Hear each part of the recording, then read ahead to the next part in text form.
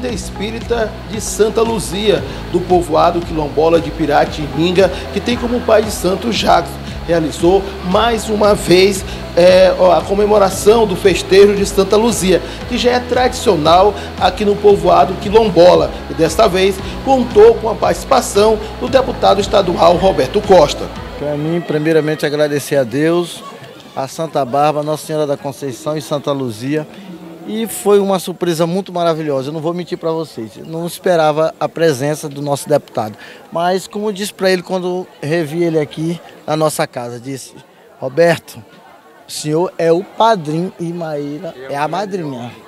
Então, quando é padrinho e madrinha, não é preciso convidar. Aqui é dele. E o nosso deputado estadual Roberto, ele está atuando em todas, em todos os setores na cultura, na saúde, em tudo.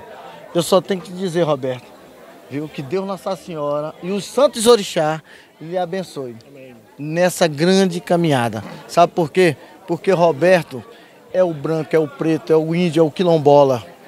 Roberto está nos nossos corações. E eu peço a Deus e Nossa Senhora e a todos os santos orixá que abençoe Roberto você nessa caminhada. Um dia na, na, lá na residência dele eu disse, Roberto, tu és cavalo branco. Tu és cavalo branco. E cavalo branco eu quero dizer, tu és São Jorge Guerreiro, ele está junto contigo, Roberto. E Santa Luzia, iluminando os teus caminhos, a tua vida. Que Deus Nossa Senhora lhe conceda essa pessoa que você é.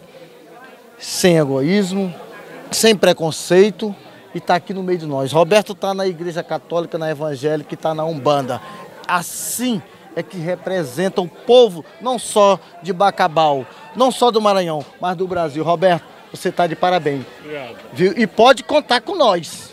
Viu? Muito obrigado também a todos vocês que fazem parte da imprensa, gente. Que Deus, Nossa Senhora e todos os santos orixá abençoe cada um de vocês. Tá bom?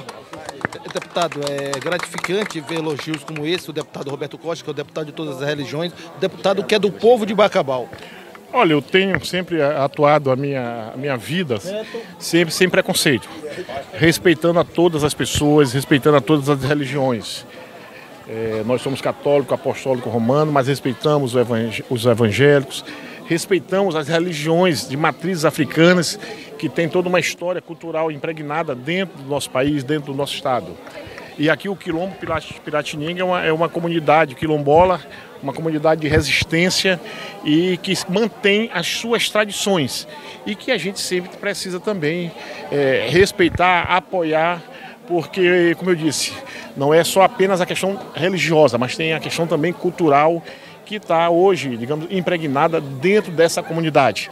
E a gente atua exatamente visualizando sempre, caminhando sempre para respeitar a todas as pessoas, a todas as classes e a todas as religiões que fazem parte da nossa cidade de Bacabal.